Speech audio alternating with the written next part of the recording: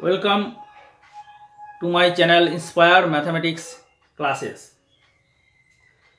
In this video, we are going to discuss some tricks to remember the formula of integration. These are three formula.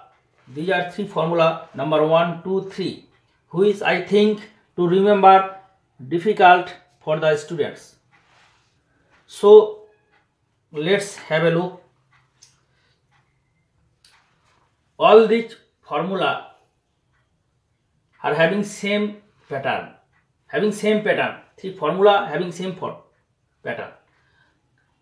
Formula of this is x by 2 right? X by 2 x upon 2 here carefully notice plus a square. Therefore this is plus square upon 2. Here is also plus square in this function. This function in plus square. Therefore, here also plus square upon 2. Here also minus square.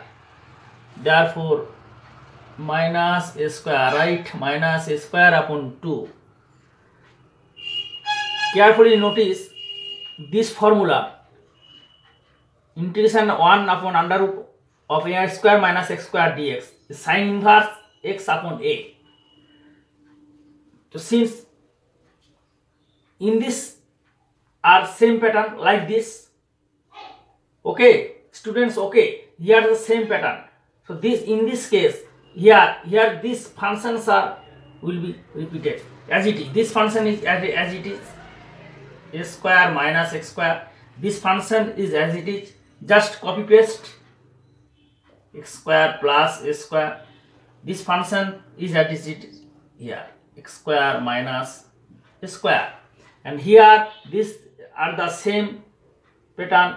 So write sine inverse x upon a plus c. You know meaning of C, constant of integration. Here is log of mod.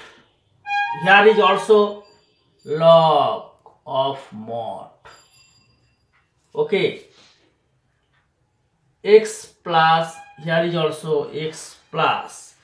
Function as it is, that is this function copy and paste here square plus square okay. This function as it is will be here. That is take copy this function and paste here. X square minus a square plus c here also plus c. So this is the technique and trick to remember the formula in shortcut process. Okay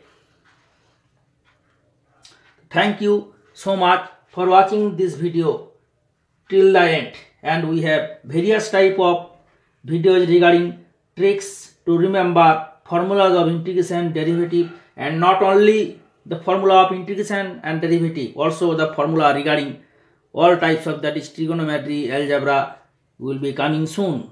So don't